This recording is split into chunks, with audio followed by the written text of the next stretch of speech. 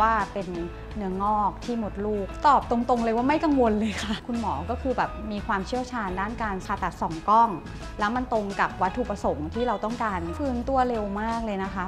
3-4 วันเนี่ยเราก็เริ่มเดินได้เหมือนจะปกติแล้วแฮปปี้มากกับโรงพยาบาลนี้ค่ะ สวัสดีค่ะ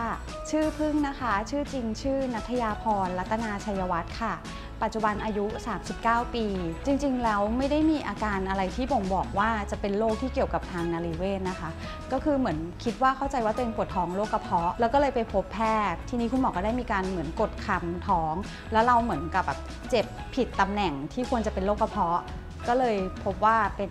เนื้องอกที่มดลูกอะค่ะ แต่ที่เลือกโรงพยาบาลเวชธานี เพราะว่าเราหาข้อมูลแล้วก็ search ในอินเทอร์เน็ตอะค่ะ แล้วเราก็พบว่าเหมือนคุณหมอจุธาทิพย์เนาะมีความเชี่ยวชาญด้านการผ่าตัดสองกล้อง แล้วมันตรงกับวัตถุประสงค์ที่เราต้องการที่จะผ่าตัด เราก็เลยเลือกที่โรงพยาบาลเวชธานี เจอคุณหมอครั้งแรกคุณหมอให้ข้อมูลจนเรารู้สึกว่าจริง ๆ แล้วโรคเนี้ยมันไม่ได้เป็นโรคที่ร้ายแรงที่เราจะต้องตกใจ เพราะว่าผู้หญิงน่ะค่อนข้างเป็นกันเยอะ ตอบตรงๆ เลยว่าไม่กังวลเลยค่ะ เพราะว่าเราเราหาข้อมูลแล้วก็เราได้รับคำยืนยันจากคุณหมอแล้วว่ามันอันตรายแทบจะ 1-2%เอง ในการผ่าตัดมดลูกอะค่ะ ก็เลยรู้สึกว่าไม่กังวลอะไรเลย ถือว่าฟื้นตัวเร็วมากเลยนะคะ ประมาณ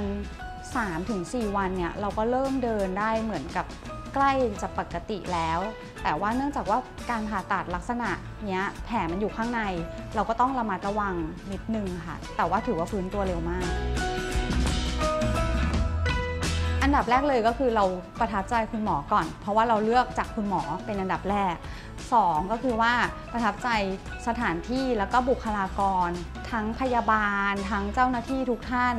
มีการโทรสอบถามอาการทุกวัน หลังจากออกจากโรงพยาบาลว่าเราต้องการความช่วยเหลือทางด้านไหน เรากังวลใจเรื่องอะไรบ้าง เขาก็จะไปแบบสอบถามคุณหมอ แล้วก็เหมือนกับนำคำตอบมาให้เราทางโทรศัพท์ทุกๆวัน เราก็เลยแบบแฮปปี้มากกับโรงพยาบาลนี้ค่ะ จริงๆ แล้วอยากจะบอกกับผู้หญิงทุกคนในช่วงวัยตั้งแต่ 30 ขึ้นไปถึง 40 ที่ที่มันเป็นช่วงวัยเสี่ยงที่เราจะเป็นโรคเกี่ยวกับทางทางนารีเวชนะคะ ว่าไม่ต้องกลัวการที่จะมาพบแพทย์ แล้วก็พยายามที่จะเมนเทนตรวจร่างกายสม่ำเสมอ เพราะว่าจริง ๆ แล้วการเจอก่อนอะมันมันดีกว่าที่เราแบบเจอตอนที่มันเป็นเยอะๆแล้ว อย่างเงี้ยก็เราก็จะได้ไม่ต้องกังวลว่ามันจะแบบอันตรายไหมอะไรอย่างเงี้ยค่ะ ได้รับข้อมูลถูกต้องไปเลย